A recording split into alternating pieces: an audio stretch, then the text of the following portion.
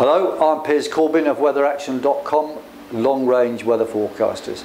And we use a fundamentally different technique from all other forecasters for long range forecasting, and that is called the solar weather technique, which I've developed over the years, uh, starting in about 1988.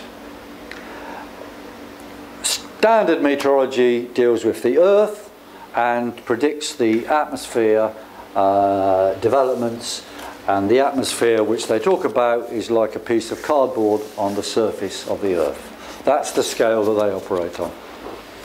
We though deal with events completely outside that which affect that weather layer. We deal with everything from the surface of the earth to the sun and everything in between it and that involves a great rush of particles coming from the sun at a million miles an hour. And these impact on the Earth's magnetic field, which goes to about seven times the size of the Earth, and that has effects on the upper atmosphere and the detailed development of weather systems.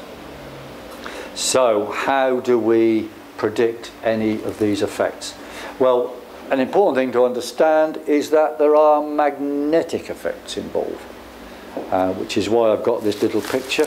You can imagine this ball, of course, is the wrong size. The orange one is the sun, and that is the earth. And these are, if you like, magnetic links between the sun and the earth.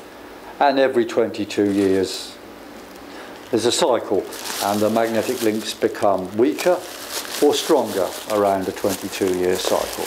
These are just symbolic connections between the poles of the earth uh, and the sun and that explains why there are that particular cycle in the Earth's weather, but there's many, many other things. So it's a great simplification just to say it's as simple as one cycle. But we are able to understand many changes which happen between the links of the sun and the Earth.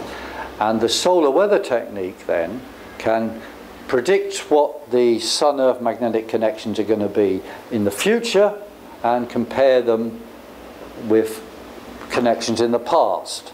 And so to forecast the future, we find when the Sun-Earth magnetic links or the solar weather technique state was the same in the past, including modulation of the solar wind by the moon. So we have the right times in the past and we can use therefore the corresponding weather in the past to forecast the future. And that can be done down to details of a few days many months ahead, which is something, of course, standard meteorology cannot do.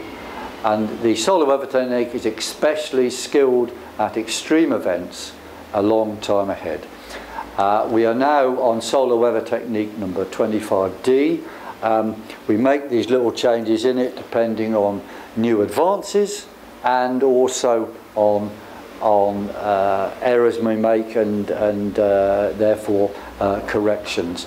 The most recent general advance we made was uh, developing what we called the uh, theory of SLAM, which is the solar, lunar uh, and, and magnetic amplification process whereby events on the sun are modulated in predictable ways um, through, through the moon and this can explain a 60 year cycle in solar uh, effects and 60 year cycles in general terms of world temperatures.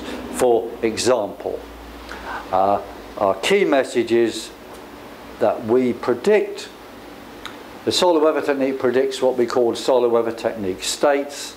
Those define the basic weather patterns and we can look back in the past to find similar solar weather things in the past to the future and those are used to make forecasts of hitherto unimaginable accuracy.